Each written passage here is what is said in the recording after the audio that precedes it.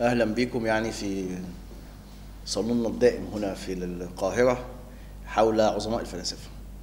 يعني بدينا الرحلة من عم أرسطو وبعد كده ابن رشد أخدته كنموذج للفلسفة الوسيطة وبعد كده شفنا أبوي الفلسفة الحديثة آه، بيكون وديكارت.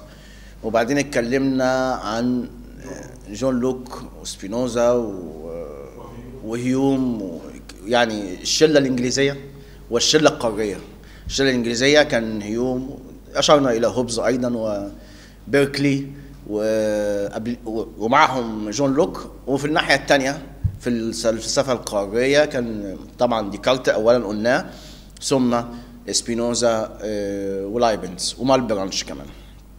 يعني بالترتيب كده مالبرانش سبينوزا لايبنز وبعدين جينا بقى عند قمة الفلسفة ال- الغربية أو العالمية لأن الفلسفة الغربية أصبحت نتيجة سيادة الحضارة الغربية وأنها الحضارة السائدة هي الفلسفة إيه؟ الإنسانية الأولى. وورثت كل ما سبق من فلسفات مختلفة بداية من الإرث اليوناني الروماني ثم العربي الإسلامي ثم المسيحي الوسيط في العصور الوسطى. جاء كل ده اتجمع بقى وصب عند عم كانت حاول يعمل توفيقات. كثيرة بين اللاهوت والسياسة بين اللاهوت والعلم بين آه، الواقعيين والعقلانيين اللي هم بعد كده هنسموا بقى يعني العقلانية المثالية بقى المثاليين اللي هنتكلم عليهم آه، النهاردة. المثالية الألمانية. المثالية الألمانية تولدت ليس تولدا فكريا.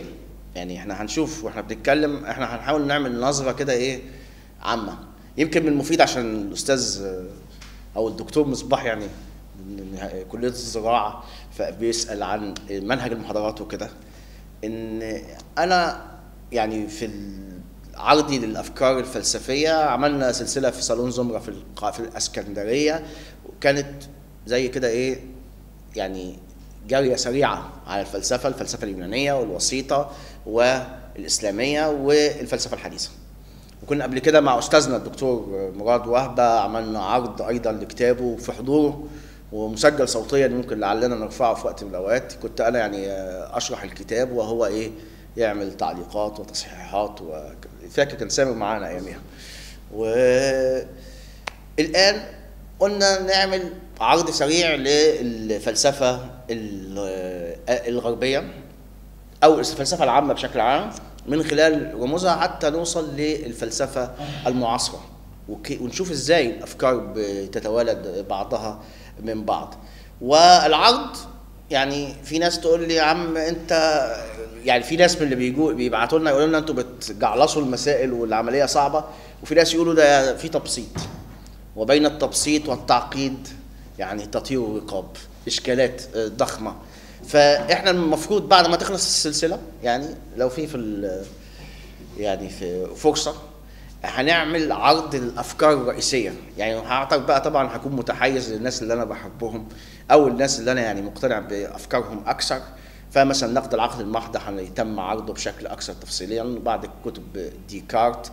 وأيضا طبعا بقى فيتجنشتاين وراسل والمدرسة الإنجليزية اللي أنا يعني إيه إيه، معجب بيها إيه، نوعا ما.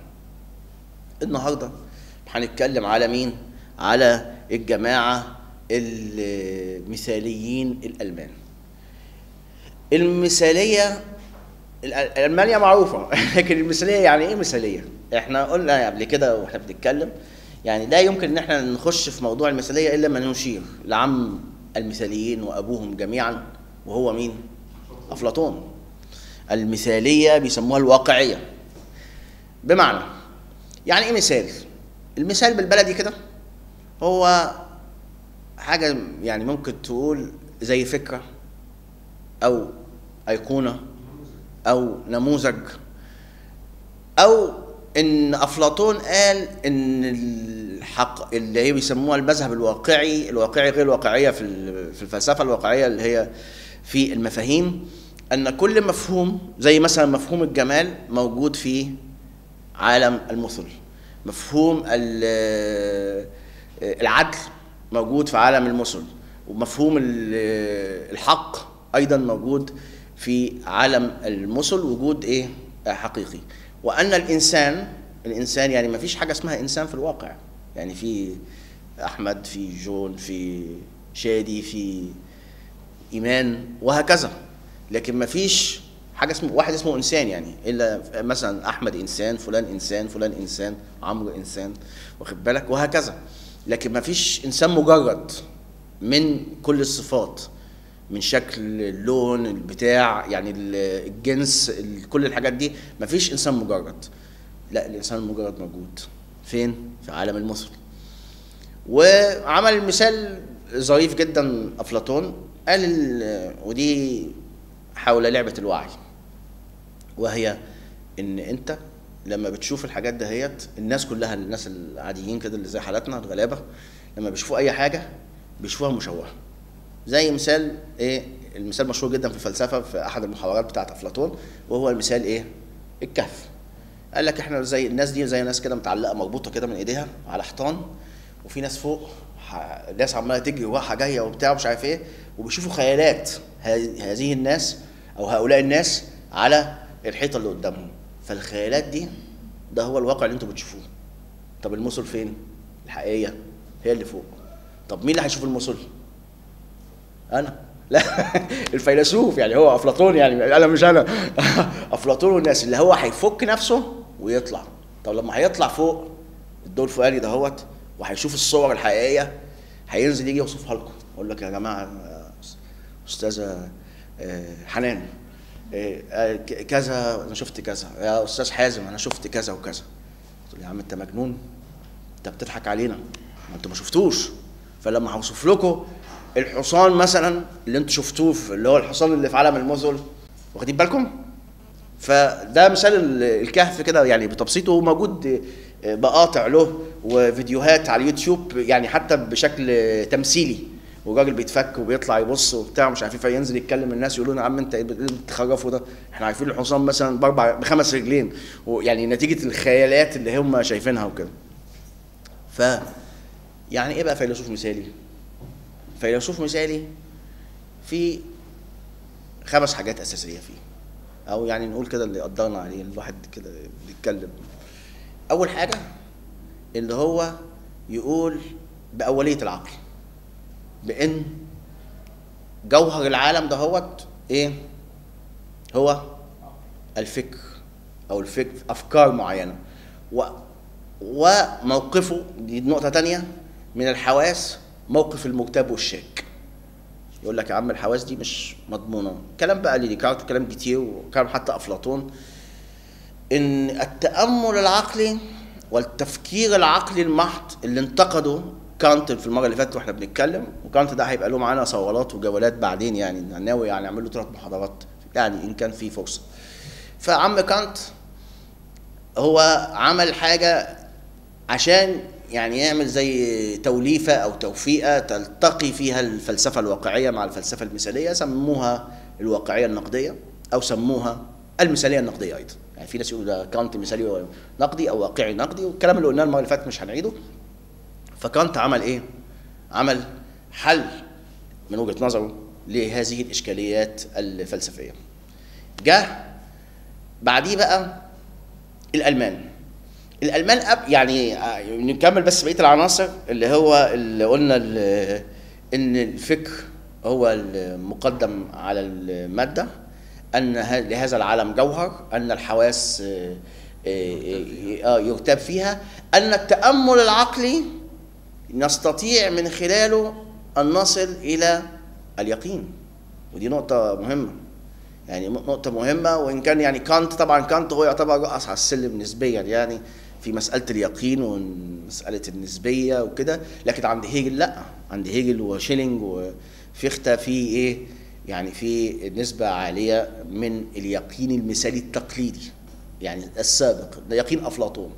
أفلاطون كان يقيني. ما كانش من الناس اللي بيقولوا بنسبة المعرفة زي مثلا غيره. فالأفكار دي كلها موجودة يعني حتى الأفكار اللي أنا قلتها دي كلها موجودة ما لسه بقى لا في هيجل ولا في شيلينج ولا في فيخته ولا في حاجة. قبل ما ندخل في الموضوع بتاع المثاليين الألمان نقول لماذا كان الألمان مثاليين؟ أو لماذا ولدت المثالية بهذا الشكل في ألمانيا؟ بهذا الشكل المركب والمعقد. ليه؟ السؤال ده سأله ديورانت في كتابه قصة الفلسفة وسأله أيضا آه، آه، راسل في كتاب تاريخ الفلسفة الغربية وفي حكمة الغرب ويعني حاولوا يجاوبوا. إشكال ألمانيا أنها مفككة. دولة آخر دول دولة متخلفة. في الكلام ده بنتكلم إحنا بنتكلم في القرن إيه؟ ال 18 يعني الفرنسويين أو الإنجليز أو بعض دول أوروبا الأخرى أكثر تقدما منهم بمراحل. فالالمان يا عيني غلابة. حتى لما جالهم حاكم ابن حلال يعني أو كويس وبعض الفلاسفة الفرنسيين يعني خطبوا وده وبعضهم اتخانق معاه اللي هو اسمه فريدريك الأكبر. كان راجل إصلاحي يريد أن يصنع حداثة وكده لكن ما عملش حداثة في المجتمع الالماني نفسه. عمل إيه الراجل اللي هو فريدريك أفندي الأكبر؟ أو ملك يعني إيه، فريدريك الأكبر عمل حاجة بسيطة جدا. إيه وهي إيه؟ إن هو قرب المثقفين وبدأ يبعت للناس كل ما يسمع إن في مثقف ابن حلال كده يجيبه يدي محاضرات وممكن يديله قرشين حلوين يعني وحاجات زي كده. ف أصبح حاجة شبيهة كده ببلاط الخلفاء والسلاطين والملوك اللي بيجمعوا فيه المفكرين والظرفاء والشعراء. لكن هذا لم يؤثر في بنية المجتمع الألماني. المجتمع الألماني كان فيه إشكالات إيه, إيه ضخمة. كان فيه أفكار خرافية ما قبل النموذج الحداثي يعني الفرنساويين والألمان والإنجليز متطورين عليهم كتير. كان مازال في شرق ألمانيا أو يعني بروسيا تحديدا اللي هي فيها فريدريك الأكبر بتاع الحداثة. مفيش حداثة على مستوى لا السياسي لا الاجتماعي لا الاقتصادي لا البنى البنى العلمية والصناعية. مفيش إلى هذه اللحظة في ألمانيا. وكان في لسه عبيد. فين؟ في بروسيا. وجهل شديد ويعني كل الحاجات اللي أنتم ممكن إيه تتخيلوها. يعني وكأن ألمانيا ما زالت لسه فين؟ في العصور الوسطى في هذه اللحظة. وكان في تيارات دينية قوية جدا تيارات كلها أصولية آه، بروتستانتية من خلفيات بروتستانتية اللي هي امتدادات أو يعني فيضانات ما بعد مارتن لوثر. مارتن لوثر عارفين مش هنحكي القصة يعني بالتفصيل لكن باختصار إن مارتن لوثر يعني كان أحد الرموز للإصلاح الديني في القرن ال 15 وال 16 وانقسمت ألمانيا في حروب دينية حرب 30 عام وحرب مش عارف كام عام بين المذهب الكاثوليكي والمذهب البروتستانتي الكاثوليكي اللي هو المذهب المجمع الأساسي اللي عليه البابا بتاع روما والفاتيكان والجماعه التانيين دول يعني اللي هم الإصلاحيين الدينيين اللي هم المعترضين. بروتستانت يعني المعترض المعترضين اللي هو كان في سويسرا في اللي هو كيلفن وكان لوثر وفي آخرين. لكن لوثر لمواجهته مع البابا وكذا وهرب فترة وبعد كده جم بعض الأمراء نتيجة مصالح معينة. يعني كانت المسألة انتصار الإصلاح الديني مش نتيجة قوة أفكاره بقدر ما كانت هي إيه؟ صراع على السلطة والنفوذ والقوة بين روما وبين الشلة بتاعه الاقطاعيين والامراء المختلفين. وبعضهم بقى اخذ جنب البابا لمصالح أيضا يعني 90% منهم لمصالح إيه, إيه لا دينية. يعني مصالح يا سياسية يا اقتصادية يا كده يعني. بس استفاد منها الدينيين في إن هم إيه بقى كذا. هذه التناقضات كلها موجودة فين؟ مصحصحين معايا؟ إحنا كل التناقضات دي موجودة فين؟ داخل المجتمع الألماني. تناقض أفكار حداثية مثقفين بيجوا يدوا كلام المجتمع الواقع. إحنا قاعدين في الأوضة هنا نتكلم في والناس بره لسه بيتكلموا في بول البعير مثلا وإحنا قاعدين هنا بنتكلم في غزو الفضاء مثلا. يعني متخيلين فلما هتيجي تنزل انت في الشارع الناس هتقول لك ده ده مجنون وانت هتقول عليهم مجانين. يعني هيبقى في إيه؟ نوع من الديلاكتيك نوع من الجدل والتناقض والإشكال. أيضا المذاهب الدينية المختلفة. أيضا بقى الطوفان. أول ثورة تحصل في تاريخ الإنسان ثورة 1789 الثورة الفرنسية وأفكار التنوير الفرنسي عصر الأنوار فولتير جان جاك روسو مونتسكيو الأخ كوندورسيه الأخ الأخ من أسامي اللي أنتم كلكم عارفينها أو معظمكم. ف كل هذه الأفكار آه، آه، بيقولوا إيه طايرة في الهواء كده في المجال العام. والناس قاعدة مش عارفة إيه يا رب إيه اللي بيحصل ولا إيه اللي بي كذا. يعني في إشكالات إيه, إيه ضخمة. كانت قدم الإجابة الأولى محاولة الإجابة. لولا كانت ما كانت المثالية الألمانية. يعني كانت بعضهم يقول آه، آه، آه، إن هيجل هو يعني بيسموها العمود المثالية الألمانية. حتى إحنا في نقول المثاليه الالمانيه وممكن نعمل محاضرة تانية عن هيجل والهيجلية. يعني في والنيو وال- زي ما في كانت وبعد كده النيو كانتيزم اللي هي ال- الكانتية الجديدة وفي يعني الواقعية النقدية دهيت والمثاليه النقدية أخذت مسارات آه، مختلفة ممكن هنتتبعها نسبيا وإحنا بنتكلم في المستقبل.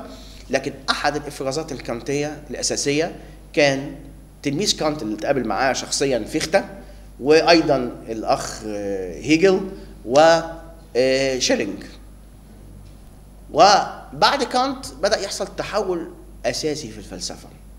تحول الفيلسوف الإيه؟ الموظف الفيلسوف المدرس الفيلسوف الأكاديمي. قبل كانت يعني بيكون كان سياسي. لوك كان شغال أيضا في وظائف وبتاع يعني وكان طبيب فترة. جون لوك بيركلي قسيس آه، ديكارت يعني اشتغل في التجارة وفي الجيش شوية ولف هنا وهنا. اس- اسمه إيه دوت؟ آه، سبينوزا. كان بيعمل إيه عدسات واتضرب بمطوة وبتاع عشان يعني زي نجيب محفوظ هنا اتضرب بمطوة اتضرب بمطوة علشان يعني كان مهرطق واتهموه الجماعات اليهودية بإيه؟ آه، بالهرطقه. فكانت الفلسفة حره حره بمعنى إنها ملهاش إيه؟ مش وظيفة يعني ما فيش واحد وظيفته إيه؟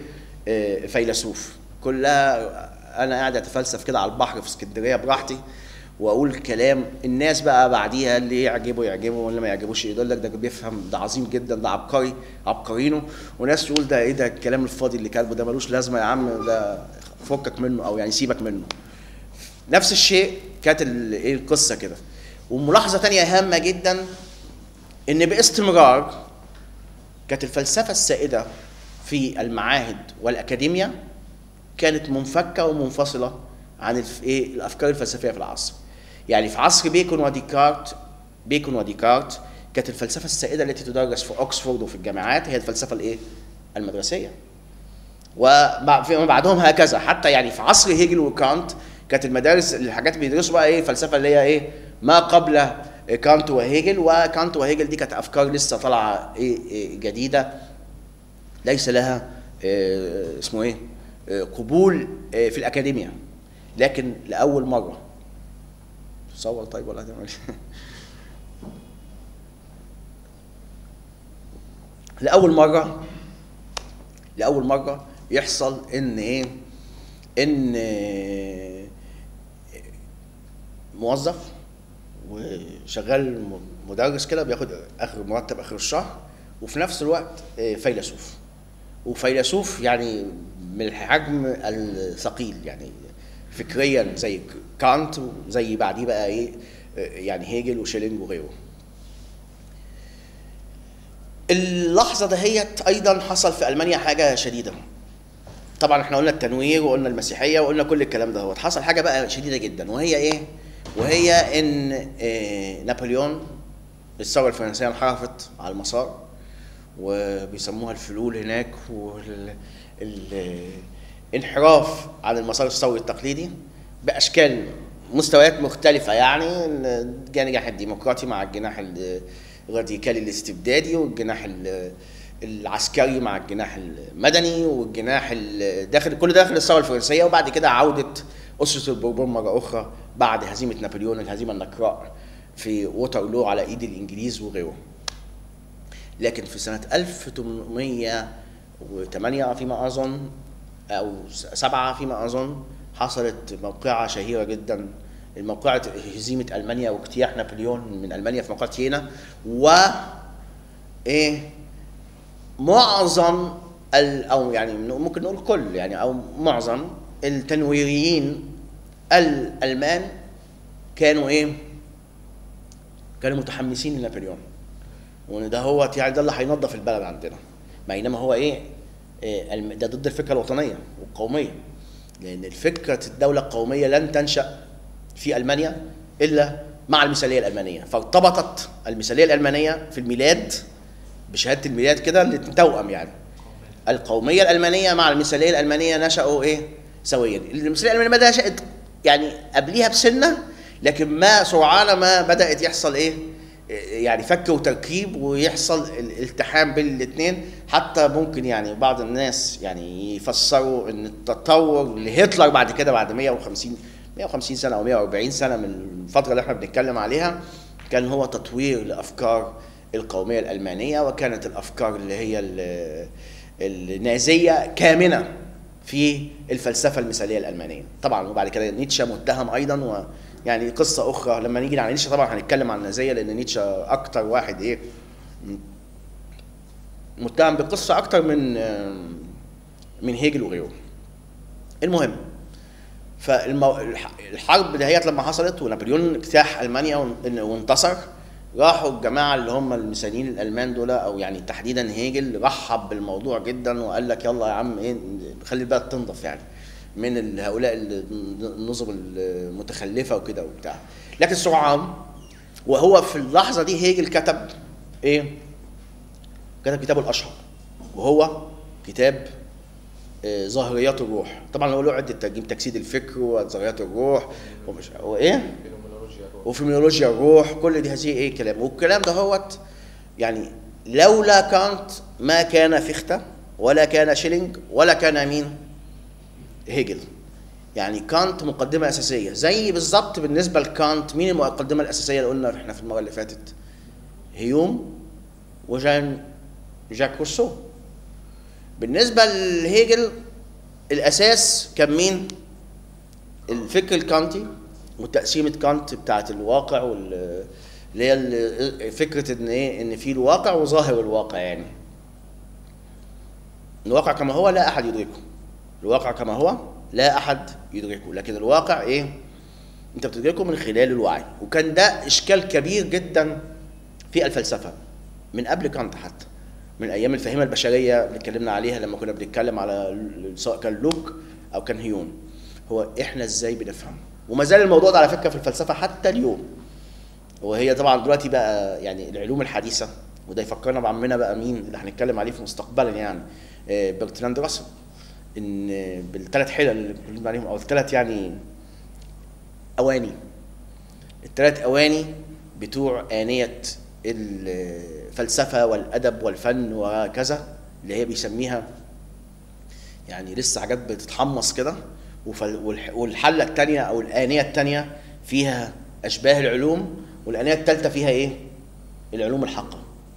وطبعا بوبر له تقسيمة أخرى بس يعني بغض النظر يعني التقسيمة بتاعت راسلي دي ظريفة فاللي هي إيه؟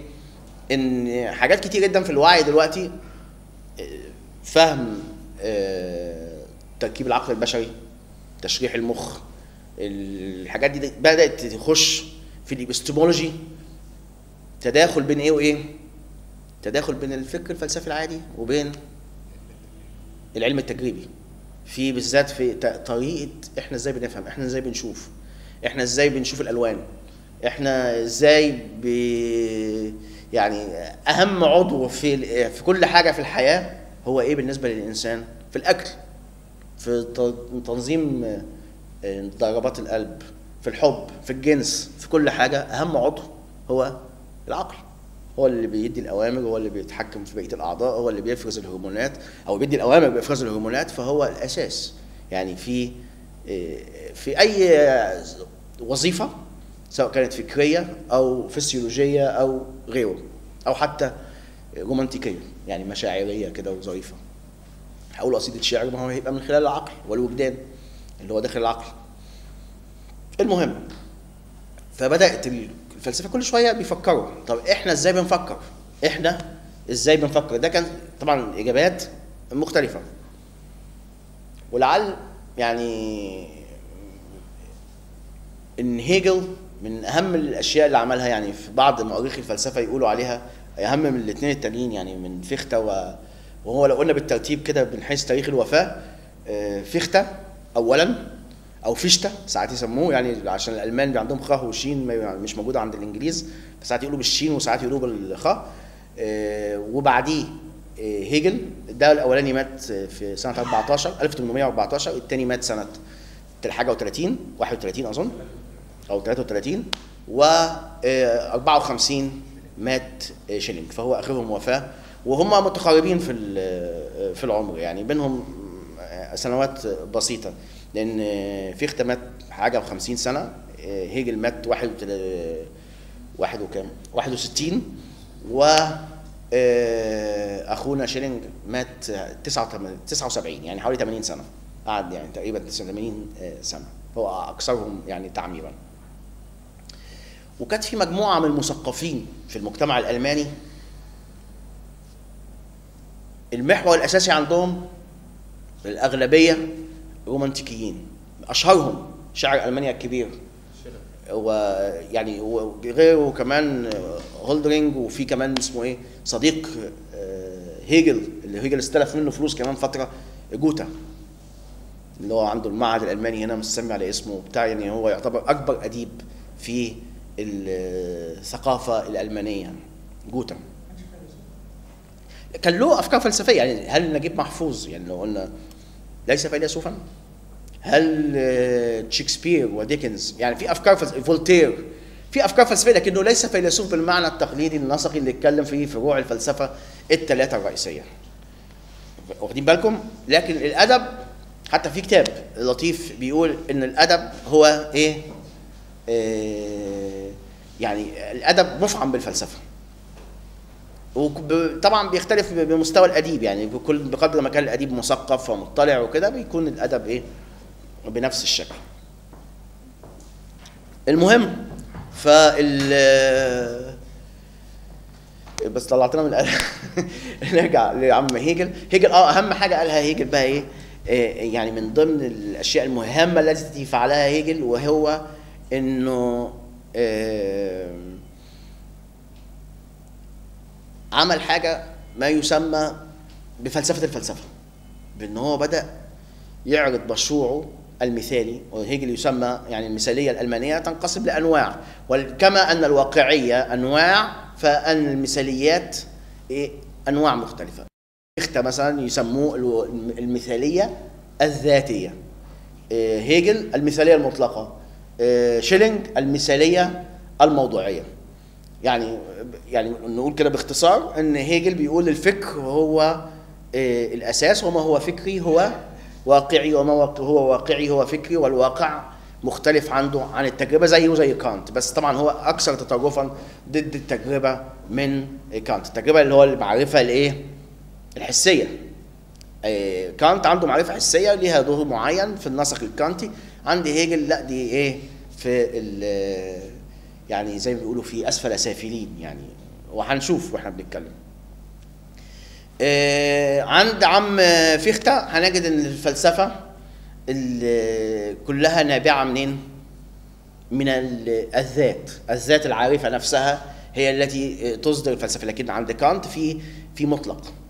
عند كانت sorry عند هيجل في مطلق. المطلق بتطلع منه بقى كل الأفكار الفلسفية الهيجلية. هنشوف المطلق الهيجلي كمان شوية. اللي عند آه، في- فيخته اللي هو إيه الذات العارفة وعند شيلينج القصة كلها حاجة شبيهة بأفلاطون شوية مع اختلاف وهو إن إيه إن كل حاجة طالعة منين طالعة من آه، عالم شبيه ومحاكي سابق على الوجود الإنساني القصة دي كلها في عالم من الأفكار أو المجردات وكده. حاجة شبيهة بإيه؟ شبيهة بكلام عم مين؟ أفلاطون في عالم المثل والحصان وبتاع والحكاية الكهف والقصة دي. حاجة شبيهة عند مين؟ عند شريك. طبعا أكثر الثلاثه تاثيرا في هذا الثلاثي هو مين؟ هيجل. هيجل بعديه الدنيا يعني بعد هيجل زي ما كاتب أنا في الفيسبوك لم يوجد فيلسوف يعني بالذات في القرن ال 19 إلا وتجادل معه. مثله مثل كانت تقريبا يعني. وإن كان طبعا يعني كانت أكثر أهمية. وأيضا يعني بيقولوا سمت عام في الفلسفة الألمانية زي ما قلنا سمت عام اللي هو التحول الأكاديمي من الفلاسفه الفيلسوف كان قبل كده راجل يعني ممكن تقعد معاه على القهوة. يعني ديدرو جان جاك روسو مش عارف إيه وقبليهم كذا. يعني في وظائف أخرى والفلسفة بالنسبة لهم هي ممكن نقول هواية مش احتراف. واللغة بتاعتهم لغة جميلة ومفهومة. بينما اللغة بتاعت من أول كانت وأنت جاي بقى كده هتلاقيها لغة إيه؟ إيه مركبة. يمكن هنا شبيهة شوية من الفلاسفة الهواه يعني هم مش هواه هواه بالمعنى هواه قصدي إن هو مش لا يعني مش بيشتغل بالفلسفة يعني كدكتور في الجامعة أو كمدرس فلسفة. آه، سبينوزا سبينوزا في كتابه الأخ... رسالته في الأخلاق عامل أشكال هندسية وعامل قصدي يعني آه، بطريقة عرض الأفكار بتاعته بطريقة رياضية فيها شيء من الصعوبة والتجريد اللي مش موجود في الكتب الأخرى حتى سبينوزا نفسه في اللاهوت والسياسة كتاب ظريف أي حد ممكن يقراه ويفهمه سلس جدا جدا جدا. عند المجموعة بقى دي هنجد اللغة إيه؟ إيه، مهولة صعبة. إيه، صعبة جدا يعني. وحتى أنا قلت المرة اللي فاتت في كانت وأيضا في هيجل إن اللي بيحاول يقراه بيحاول يجيب كتبه فين؟ آه، باللغة آه، تانية. لدرجة إن في طبعات يعني واحد صديقي جابها طبعة لكتاب آه، آه، لكتب الفلسفة الألمانية يكتبوا صفحة بالإنجليزي وصفحة بإيه؟ مش بالعربي صفحة بالإنجليزي وصفحة بالألماني بحيث الطالب يعني يقرأ ويشوف أكن الألماني أكن الإنجليزي لو أنت بتعرف اللغتين لو أنا ألماني وبعرف إنجليزي أكن الإنجليزي ده بالنسبة لي إيه؟ شرح للكلام اللي إيه؟ اللي مكتوب بالألماني. والفلسفة الألمانية تعتبر يعني إحنا قلنا لايبنز قبل كده ما يعتبرش يعني ما يعتبرش فيلسوف ألماني، اولا هو ما قبل القومية الألمانية بالشكل التقليدي يعني هو ينتمي أكثر للإمبراطورية الرومانية المقدسة وكان أصلا كتاباته معظمها يا باللاتيني وبالإيه؟ باللغة الفرنسية زيه زي أستاذه يعني آه، أستاذه اللي يعني أستاذ أستاذه بقى أستاذ سبينوزا اللي هو آه، ديكارت. هنا كله بيكتب بالألماني. لغة حلوة كده ومجعلصه وصعبه لدرجة إنه في اختها وهي منسوبة الكلمة للاثنين يعني ما حققتش أنا انه فيهم اللي قالها. بالتحديد لكن منسوبة آه، للاثنين وفي ناس يقولوا إنها الاصح إنها الفخته وهو إن أنا لما كتبت الكتاب بتاعي ده يا جماعة يعني ما أظنش في حد يفهمه. إلا ممكن يعني في ألمانيا دي كلها واحد. والواحد ده عنده صعوبات في الفهم أيضا. يعني متخيلين كلمة فيها شيء من الايه من الجعلصة يعني. حتى راسل يقول راسل طبعا إحنا قلنا إن فترة التأثير في التأثر بالمثالية الألمانية هي القرن 19 حتى ما زال إلى الآن لكن انحصر نوعا ال- التأثيرات للمثالية الألمانية وحتى لل للهيجلية في الدوائر الفلسفية وتطورت بأشكال مختلفة. فهنجد إن مثلا عند هيجل يعني إيه، طبعا عارفين بعديه جاء اليسار الهيجلي واليمين الهيجلي وفي تجليات مختلفة تجليات مختلفة لهيجل في التاريخ الفلسفي. تجلي ديني عند كيركيجور اللي هو الوجودية المؤمنة أول يعتبر أول فيلسوف وجودي. ليه لاهتمام كل المدرسة المثالية بفكرة الحرية وإن كان الحرية زي ما هنشوف يعني ما كانتش ولا بد. مش الحريه اللي إحنا فاهمينها في المذهب الليبرالي التقليدي. يعني حتى الليبرالي اللي هو التقليدي القديم مش الليبرالية الحديثة الليبرالية بتاعت جون لوك وكده. لا الحرية عندهم كانت مختلفة لكنها كانت هي بيسموها إيه؟ زي عود الكبريت أو الإشارة السبارك يعني اللي عمل المذاهب الوجودية. المذاهب الوجودية القيمة الرئيسية فيها إيه؟ قيمة الحرية اللي هي تحدد الماهية. إحنا عارفين قصة الماهية والوجود وإن الماهية سابقة ولا الوجود سابق على الماهية إن المدارس الوجودية كلها بتقول إن إيه؟ الوجود عشان كده سموها المدارس الوجودية. الوجود سابق على الماهية. يعني بالبلدي كده إن إيه؟ إن يعني أنا في مثال عامل فيديو عن الماهية والصغير كده بتاع خمس دقائق أو أقل. يعني مثلا لو في مسطرة بالبلدي كده لو في مسطرة فدي معمولة ليه؟ عشان تبقى مسطره نقيس بيها. لكن لو أنا استخدمت الميكروفون ده أو الموبايل كأداة للقياس فأنا كسوت الميكروفون بماهيه جديدة. ما هي يعني زي وظيفة أو ماهيه الشيء التي يتحقق بها الشيء. فيعني فأنا جعلت إيه؟ الميكروفون أداة للقياس. هو الميكروفون اتعمل ليه؟ عشان هو موجود قبل فكرة القياس. فاهمين الفرق يعني؟ بينما المسطرة. فكرة القياس موجودة الأول وبعد كده إحنا عملنا إيه؟ المسطرة. لكن في العكس هو في الميكروفون. الميكروفون معمول عشان حاجة تانية خالص. فأنا جبته ورحت عامل إيه؟ منه إيه وسيلة مثلا أقيس حجم الكوباية دي قد إيه أو مش عارف إيه. فالحريه طلع منها الأفكار الوجودية. طبعا طلع أيضا بقى الإلحاد. الإلحاد العلمي لأول مرة. قبل كده كان في ربوبيين واللي هم انتقدوا الديانة المسيحية وقالوا بال اللي هو لا دينيين يعني. قالوا الأديان كلها أديان بشرية فولتير وجان جاك روسو والشلة دي كلها فكرة الدين الطبيعي وكده وبتاع. الباقيين كلهم إيه؟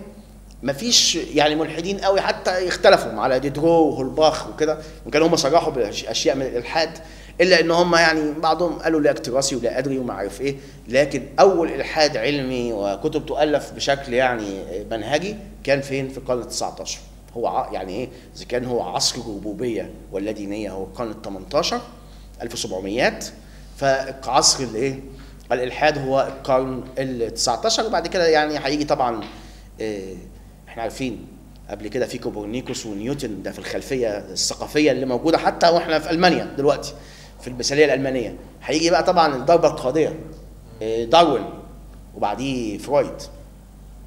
وكل دول متأثرين طبعا ما عدا داروين داروين راجل أقرب للعلم منه للفكر. لكن السيكولوجي والحكاية الغريزة الجنسية أو فكرة غريزة البقاء والكلام ده كله كله طالع منين؟ يعني عشان تفهم الساحة الألمانية فهما جيدا لابد أن تفهم كانت ثم هيجل عشان تفهم الايه؟ المطلق المطلق وتطور المطلق في الفكر أو العقل الألماني اللي هو منطلق من كانت اولا ثم هيجل ثانيا يعني هو أهم الثلاثه من وجهة نظري. طيب كانت قلنا لولاه ما كانش مين؟